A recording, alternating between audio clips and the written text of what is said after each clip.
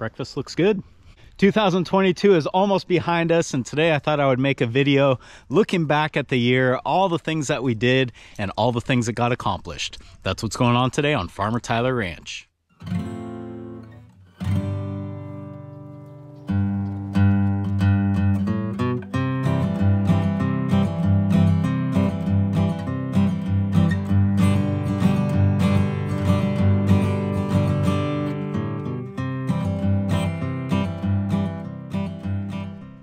January 2022 started pretty much like every year in recent history.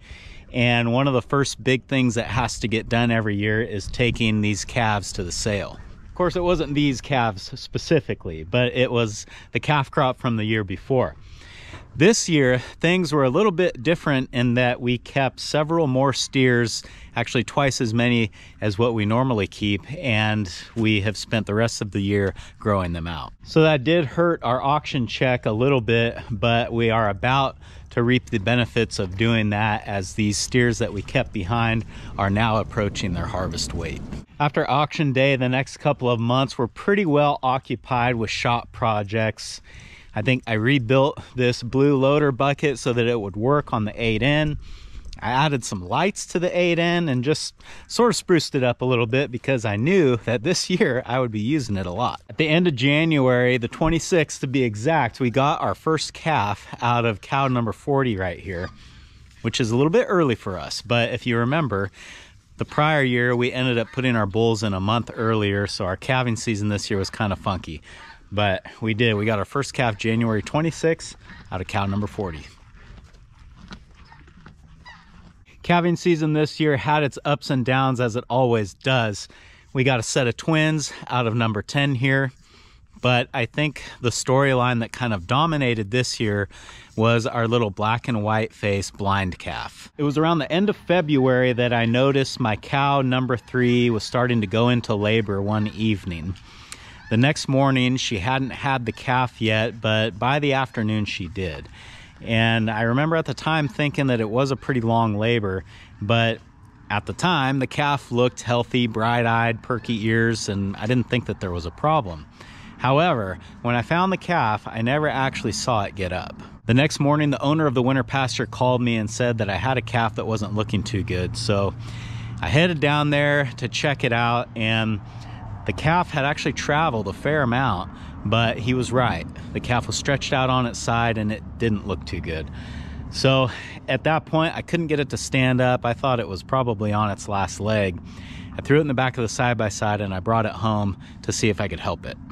I bottle fed the calf in my stock trailer and kept him in there for a few days, and it, it didn't take long to realize that he was completely blind. And I didn't know if maybe he would gain his sight back or what exactly was wrong with him, but eventually I en- ended up calling a vet and explained what was going on with him and the vet kind of told me that it was probably hopeless for the little guy so unfortunately this story has a sad ending and the little calf had to be put down. Shortly after the whole calf saga came to an end, I made a huge life decision and decided to quit my full-time job and try to do what I'm doing out here full time. This was easily the biggest scariest, most exciting change of the year.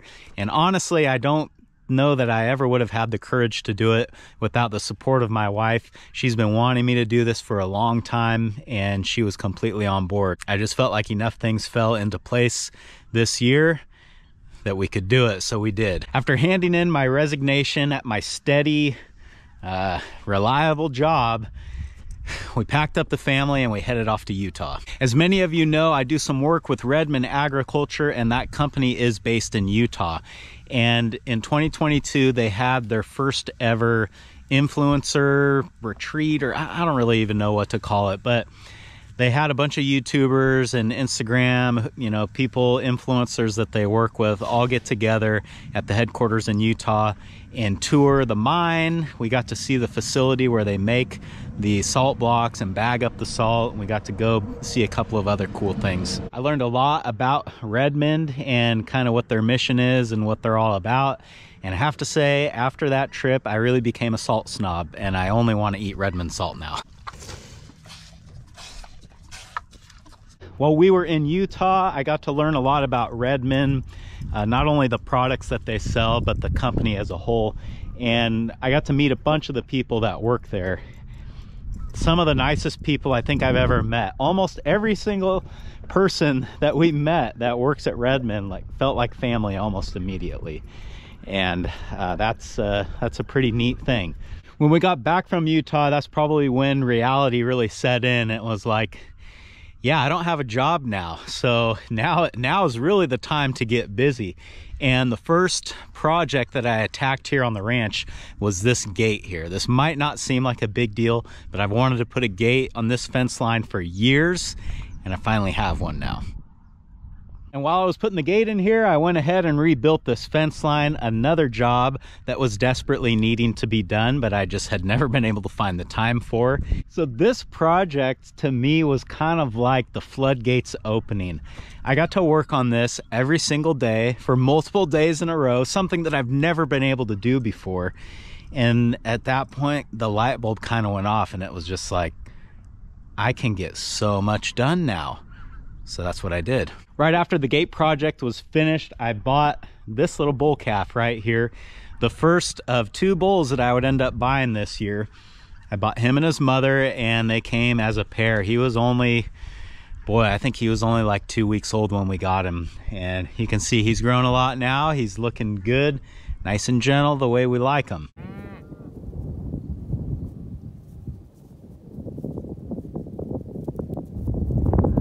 Over the summer i've been i kind of started referring to this uh, bull calf as little boy. And the irony of it now is that he he is the bigger of my two bull calves that i have. But when i got him he was the smallest one. So and i think i'd already taken to calling my mature bull big boy. So he became little boy. And then when big boy went to the sale um, the new calf became big. Uh, it's a whole thing. But anyway, I bought him and his mother as a pair. His mother is a really nice looking cow, and I'm excited to see what kind of calves we get out of her in the future. But for now, little boy is just hanging out in here with his steer friends, and life is good. And I remember after getting little boy and his mom home, that was about the time that we started doing a more intensive rotational grazing system in years past, I had always wanted to try daily moves on my pasture, but I just never really had the time to do it. And this was the first year that I knew I would have time to implement that sort of a system. I was nervous about it though, because I knew that little boy's mom had never seen a hot wire before where she came from. My cattle were already trained to it because in years past I have implemented a less intensive rotational grazing system where they would move like every two to three days. Um, so I didn't know how she was going to respond to the hot wire. The saving grace was that this year I started doing some work with Gallagher and they sent me out this S100 solar energizer and this thing packs a punch. So even a cow that's never seen a wire before, once she touches it once, that's probably the last time she's going to touch it. The S100 and the geared reels that I got from Gallagher made rotational grazing this summer very easy and I've got some more stuff from them that you guys will see soon. Uh, I, I don't want to tell you what it is quite yet, but I'm really excited about it. I think it's really going to bring my operation to the next level. How much do you guys weigh? If only I knew. It wasn't too long after we started doing the intensive uh, grazing here that it was time to cut and bale hay.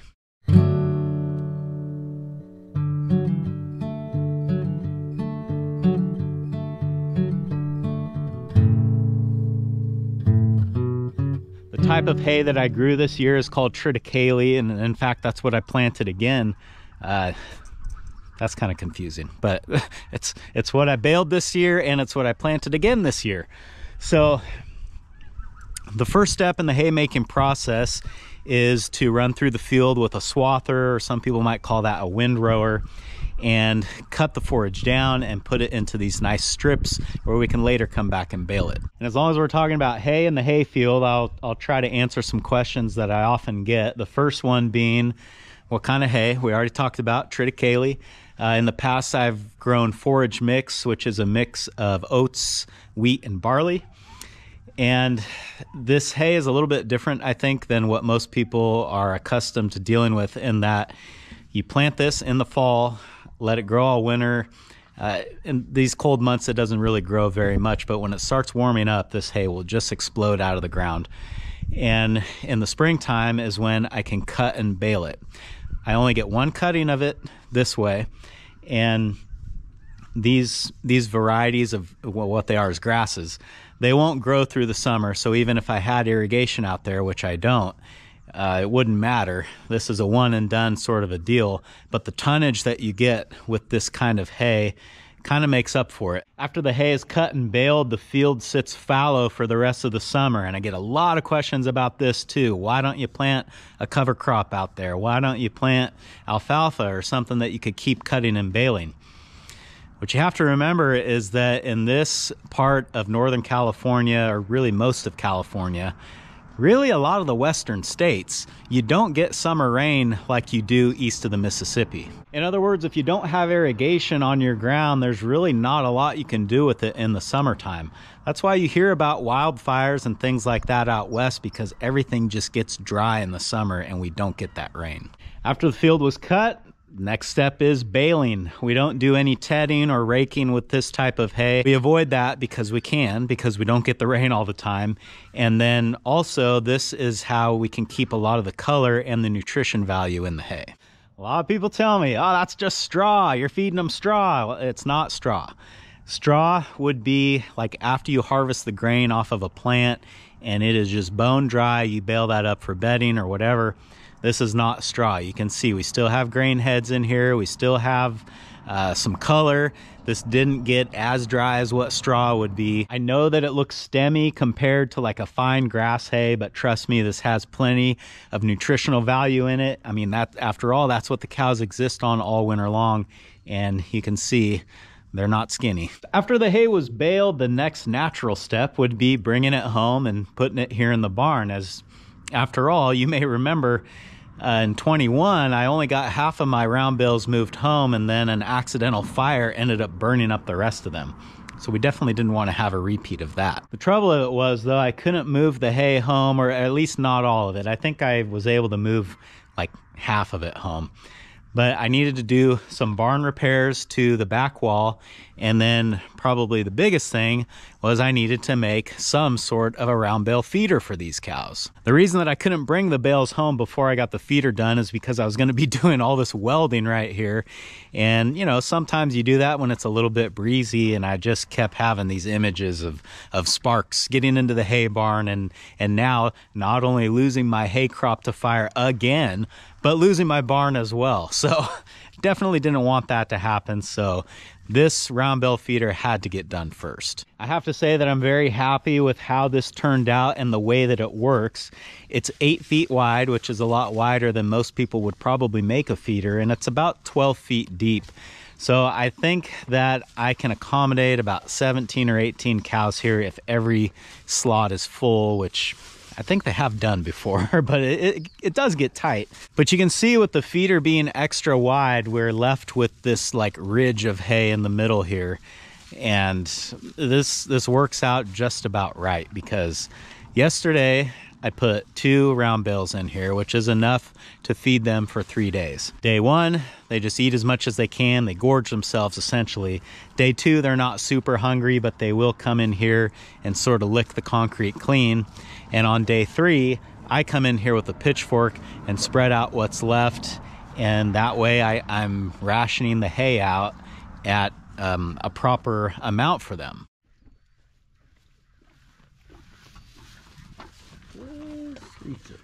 So after the new feeder was all finished, then I could finally bring the rest of the hay home and put it in the barn.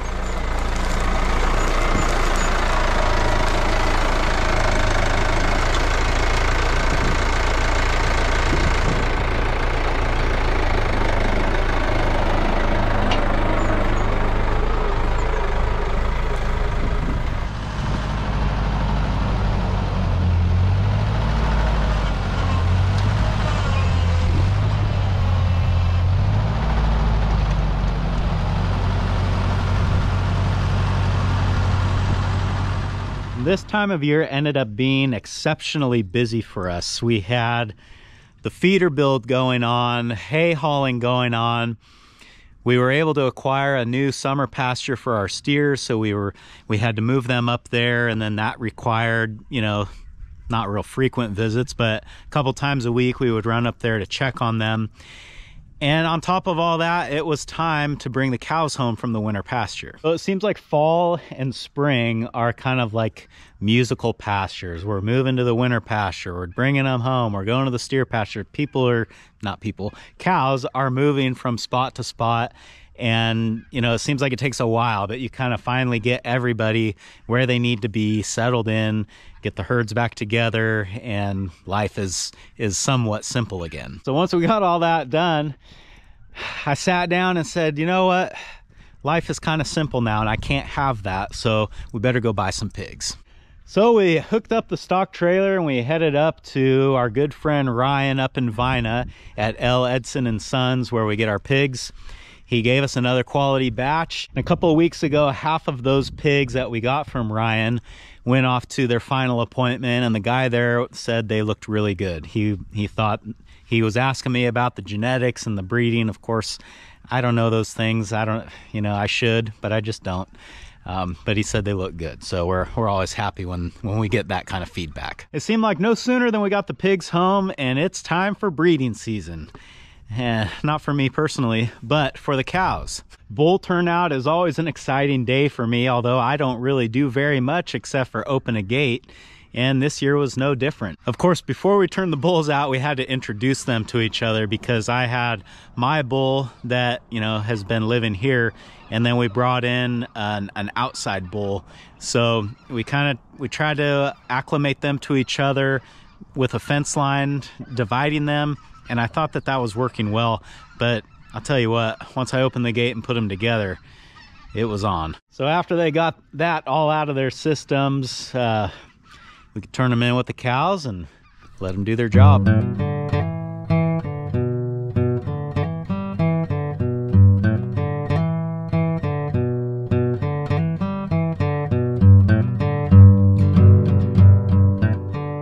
Guess that puts us to about early summer now. And really a lot of what defines my summers is irrigating and just kind of doing little odd jobs, getting caught up on repairs here and there. But this year there was another thing that that I got done that I've been wanting to do for a while, and that was I brought my grandpa's ATV out of the shop and spruced it up and brought it back to life. And I have to say, I should have done this a long time ago because now that I have the little ATV, I end up using that thing all the time. That gets us up to about midsummer now, and I think I, I must have sat down one day and said, you know, it's really hot. We're getting over 100 every day. What I should do is a big welding project outside. And so began work on the bullpen.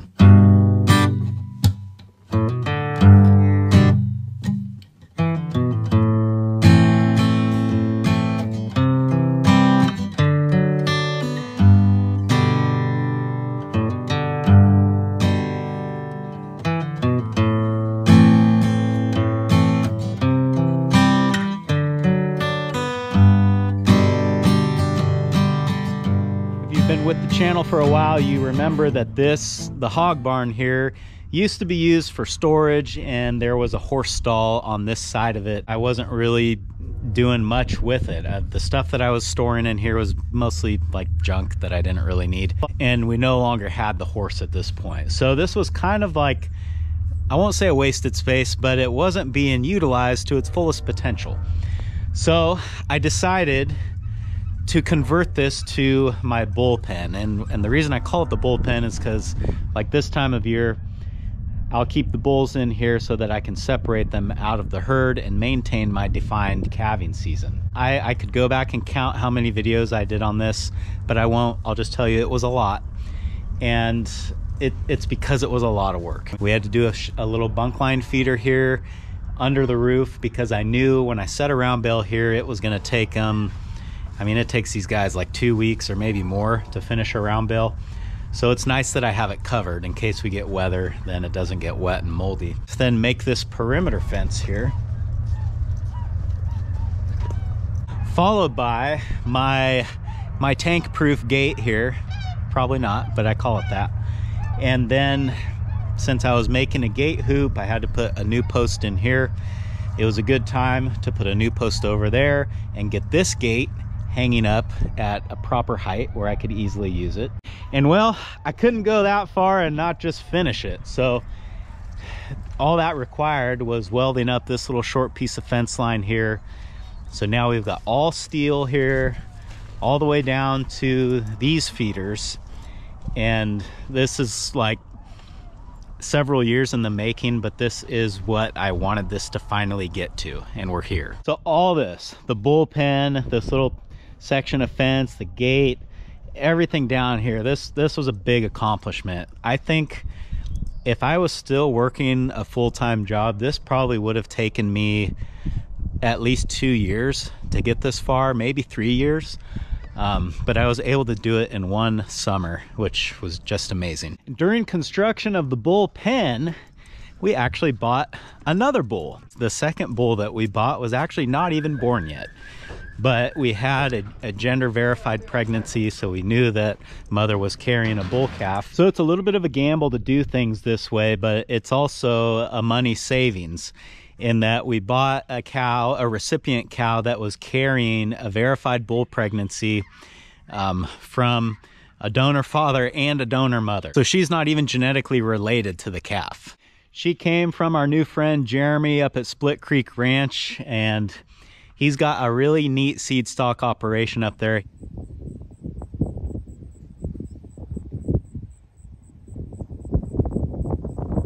So we refer to him as Big Boy now, and he's doing well. Uh, mother came to us with tag number 20. I already have a number 20 cow, so now she is 65. Summer went on. We did some more shop projects. I built a three-point spear and a, a basket for the back of the four-wheeler for Callie to ride on. But the last big project of 2022 was converting this old flatbed trailer into a feed wagon.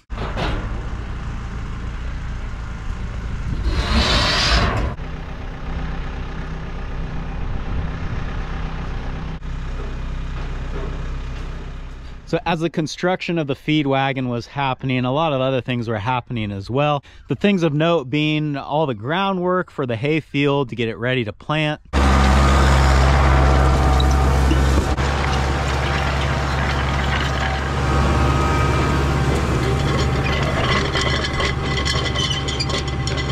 getting the bullpen ready to actually hold bulls and weaning the calves off of the cows. So that's always a big thing to check off the list for the year. And the other big thing that happened shortly after that was getting the hayfield planted.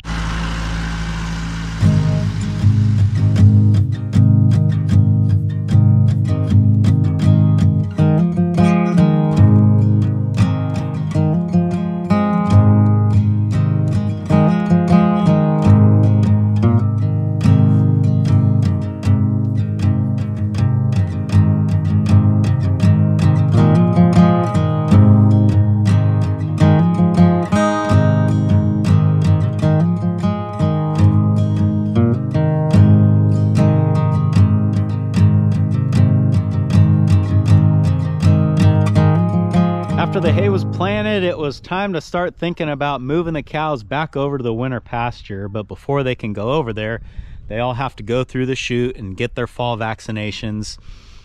This year, I kind of would have liked to wait a little while to send them over there, but I went ahead and sent them early when the feed was not really where it should be because I wanted to avoid doing all of this in the mud. That's not just for me, it's for them too. It's just better for everybody if we do corral work while the ground is somewhat solid. So that's what I did. Because the feed at the winter pasture was so short when we brought the cattle over there, I had to start bringing them round bales. Boy, I, I don't know if I let them go a week. And originally, when I started doing that, the feed wagon wasn't done yet. So we were just dumping uh, bales on the ground. It didn't take me long to realize that they were they were not utilizing as much of the bale as I wanted them to and getting the feed wagon finished and functional became the top priority.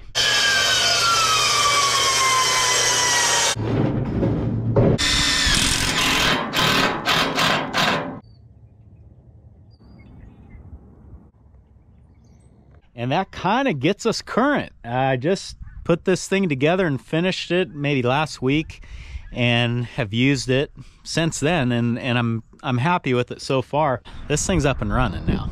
It has been a very eventful year. In fact, a year ago now, I could have never foreseen things going the way that they did. And, I, am happy to say that, that that things went in a good way. I'm I'm so grateful to have this life that I have and to have the opportunity to do all these things that I do. Um, I think I work probably pretty hard, but I don't really feel like I ever work because I, I love everything that I do. I think I will save my 2023 goals for another video because this this ended up going on a lot longer than I had planned. But in another week, it'll be New Year's and we can start this all over again. Thanks for hanging out with me today, guys, and I hope I'll see you again on Farmer Tyler Ranch.